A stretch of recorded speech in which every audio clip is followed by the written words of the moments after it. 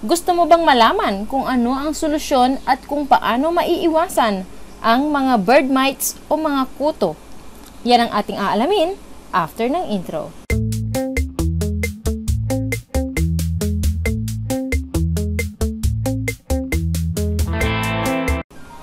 Hello Dapper Cats and welcome back for another video. Ang pag-uusapan natin ngayon ay kung paano masolusyonan ang mga bird mites o mga um, bird lice na yan.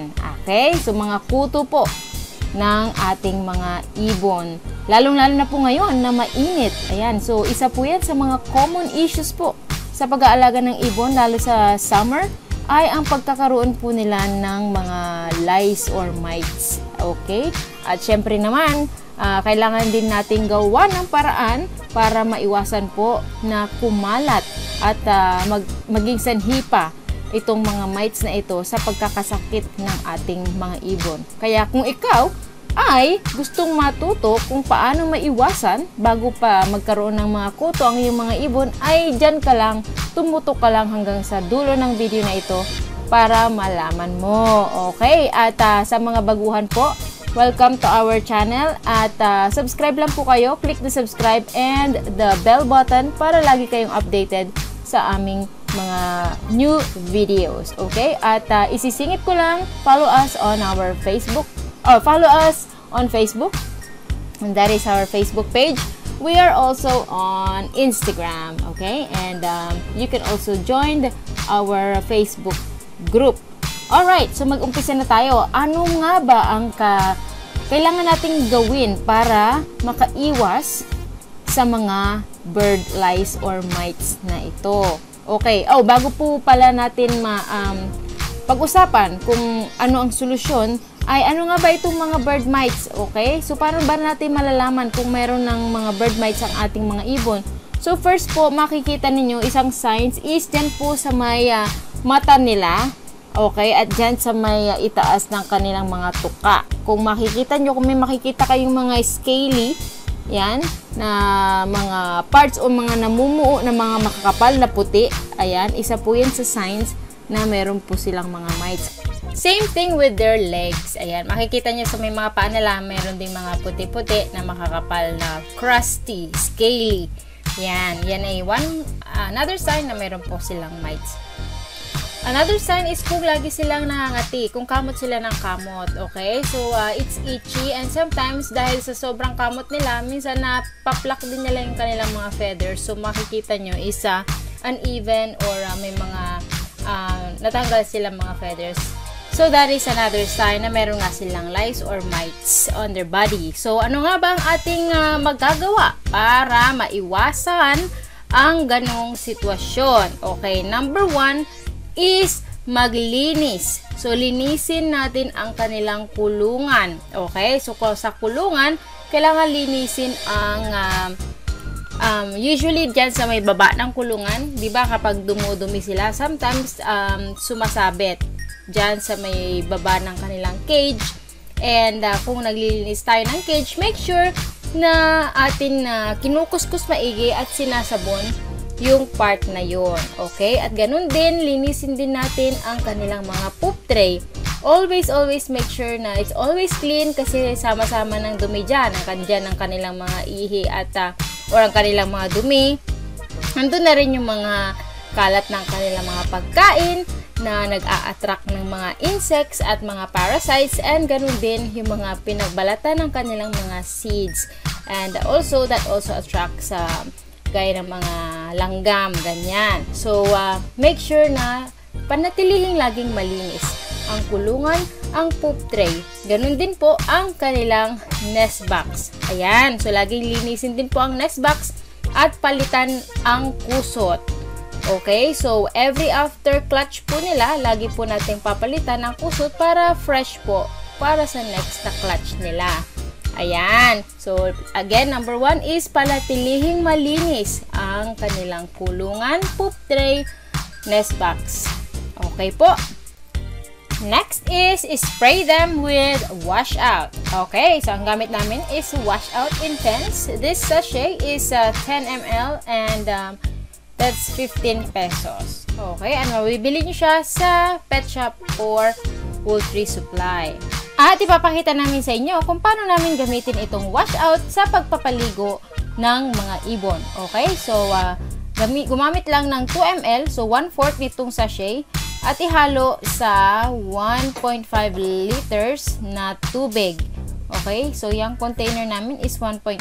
So kung wala kayong ganyang uh, container na sprayer, pwede kayong gumamit ng empty bottle ng mga cologne, ganyan na may pang spray, or mga 1.5 liters na mga pop o mga coke, ganyan, at uh, butasan nyo na lang ang kanilang takip. At kailangang alugin maigi bago gamitin. At sunod ay i-spray na sa inyong mga ibon. Okay, ang ginawa namin ay nilagay namin yung mga ibon, tinransfer namin sila sa mas maliit na kulungan gaya ng nakikita nyo para mas madali silang paliguan. Kasi kung papaliguan nyo sila doon mismo sa kanilang mga malalaking kulungan, ay baka mahirapan po kayong mapaliguan sila dahil sobra po nilang gagalaw. Okay? Baka maubos pa yung inyong uh, wash out na tubig bago nyo pa sila talagang uh, mabasa ng tuluyan. Okay? So, make sure, uh, so yun po, yung technique namin is tinatransfer muna namin sila sa maliit na kulungan And then, mas madali na, na silang paliguan. Okay? At kung pinapaliguan nyo sila, is uh, dahan-dahan lang para hindi sila magulat at ma-stress. okay? And also, alam nyo ba mga Dabber Gods na ang pagpapaligo sa mga ibon ng sabay, gaya ng ginagawa namin sa uh, small cage na ganyan, ay nakapagpapabilis para sila mag-bond kaagad. Ayan, lalo na kung kayo ay nagpapares ng mahirap na ipares ng mga ibon o kung uh, sobrang tagal na is hindi pa sila magpares or kung may dati silang mga partner. Ayan, at kung kayo ay uh, binaklas nyo sila sa kanika nilang mga partner dati at uh, pinagpa-partner nyo sila. One way po yan technique is paliguan nyo po sila nasabay dyan sa maliit na kulungan. Okay? Ang mangyayari niyan kasi is matatanggal ng washout yung mga amoy ng dati nilang mga partner. Kaya magpapareho na sila ngayon ng amoy. Kaya mas mabilis na sila ngayong mag-bond. Ayan, at ang pagpapaligo sa kanila is uh, make sure na uh, basang-basa yung kanilang buong katawan. Ayan, at uh, syempre makikita mo naman kung totally soaked na yung kanilang mga feathers at ang make sure din na wag mo ring i-aim mismo sa kanilang mga mukha, ganyan. Uh, okay lang na matalsik-talsikan ng konti. Hindi naman siya harmful kasi matagal na namin ginagawa yan. So, uh, ayun lang. And make sure na um, totally soak at basang-basa sila para lahat ng mga mites na nakakapit doon sa kanilang katawan kasi sumisiksik yan sa loob ng mga feather nila eh. So, uh, yun is uh, para matanggal lahat yung mga mites na nakakapit kahit doon sa mga kasulok-sulukan. Okay? Another tip, Dabber Cat, ay wag mo pong paliliguan ang mga ibon na meron na pong mga itlog. Ayan, ang mangyayari po kasi ay mabubugok po yung kanilang mga itlog kasi pag pinaliguan mo yung mga ibon ay papasok sila sa kanilang nest at yun, mababasa yung kanilang mga itlog. So, never po kayong magpapaligo ng mga ibon pag sila ay may itlog na. At after nyo po silang mapaliguan, ay paarawan nyo po sila. Okay, konti lang, about 10 minutes lang po. At uh, ang pagpapaligo namin ay usually in the morning para hindi pa masyadong masakit ang araw pag pinaarawan namin sila. Okay? And uh, again, 10 minutes lang, wag nyo po silang iiwan. Baka pagbalik nyo ay uh, wala na. Na heat stroke na sila. okay, so importante. And after nyo po silang mapaarawan ay pwede nyo na sila ibalik sa kanilang mga lalaking kulungan para sila ay makalipad-lipad na at makapagpatuyo ng kanilang mga feathers. At pwede nyo pong gawin na ang pagpapaligo ng mga washout sa inyong mga ibon during summertime is you can do it 1 to 2 times a month. Okay? At uh, during the, the rest of the year is um, as needed na lang. Kung nakikita nyo uh, medyo nangangati-ngati na sila at pag may nakita kayong mga mites na yung inyong mga ibon. Okay? So, ayan lang mga Dabber Gods, ang mga solusyon kung paano nyo maiiwasan ang mga bird lice or mites. Okay po? Sana ay meron ulit kayong natutunan sa munting video na ito. Again, maintain nyo po ang kalinisan sa surroundings po ng inyong mga ibon. Linisin lagi ang kanilang mga kulungan, ang kanilang poop tray, ang mga nest box, palitan ang mga kusot, at again, pwede nyo po silang paliguan ng wash out. Kung nagustuhan mo ang video na ito, ay i-click mo lang ang like button. And also, if you haven't subscribed to our channel, click that subscribe and the bell button so you'll get notifications every time we release a brand new videos. Okay, so bago po tayo magtapos mga Dapper Cats, ay dumako tayo sa ating mga shoutouts. Shoutout to John Dave De Jesus, hello te kay Danilo Galang, Matt David Bagsit, RJ Nel Dacayo, kay Majen uh, Pineda. Hello and shoutout din kay Jacqueline Modrigo, kay Renzo Panopio. Hello kay JC Ramos, Noel T. Guzman, and William Maraan. Hello and happy watching din kay Migs ng Dasmariñas, kay Jan Michael Agustin, kay Daniel Alpuerto, hello kay Robert Inandan, hi din kay Joseph Aguis, low mute pa lang, low mute pa lang.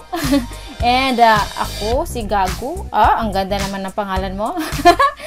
And uh, hello din kay Terence Tangaran, kay Ramir Gonzalez from New Zealand, and also kay Wilbert Maluyo, watching from the beautiful Hawaii. Ayan, maraming maraming salamat po sa inyong panonood mga Dabbard Cats at para sa inyo na gusto ring magpa-shoutout is comment lang po kayo sa comment section.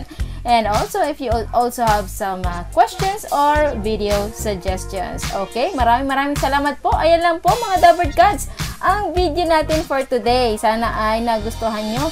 And as always po, God bless us all and we'll see you on the next video.